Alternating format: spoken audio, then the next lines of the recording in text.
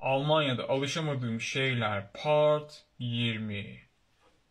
Arkadaşlar burada hediyeleşme kültürü, hediye alıp hediye verme kültürü bizimki gibi değil. Şimdi size bunu birkaç farklı örnekle anlatacağım. İlk olarak arkadaşlar benim buradaki ev arkadaşım Alman.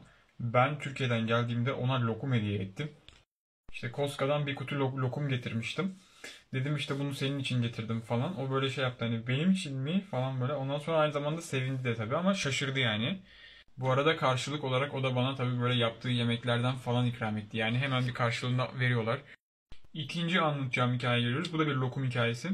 Bir kutu lokumu ev arkadaşıma verdim demiştim ya. Ayrıca Türkiye'den bir kutu lokum daha getirmiştim. Onu da okulda Almanca dersinde açtım. Önce hocaya takdim ettim.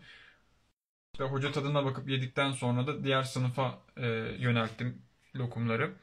Yalnız bilmiyorum yani hoca doğru düzgün teşekkür bile etmedi. Böyle kutuya baktı işte aa Türkiye'den mi? Aa hem de İstanbul'dan getirmişsin vay falan yaptı. Aa hem de fıstıklıymış işte çifte fıstıklıymış falan böyle bir şeyler dedi ama teşekkür etmedi.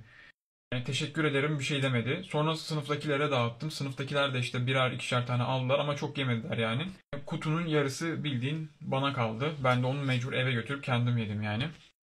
Sınıf gerçi 5-6 kişi falandı yani o gün ama ama kimse yani ya çok beğendik, çok teşekkür ederim falan gibi bir şey böyle demedi yani. Ben de hani sordum hani birazcık bana da şey oldu hani kötü mü getirdim acaba falan diye.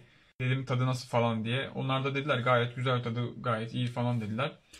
Yani hediye alırken, verirken, hediyeleşirken bizim yaşadığımız süreçler burada pek aynı değil. Şimdi üçüncü hikayeye geliyoruz arkadaşlar. Bu hediyeyi bu sefer ben almadım ama e, bu ikinci hikayenin açıklayıcısı bir hikaye olacak bu.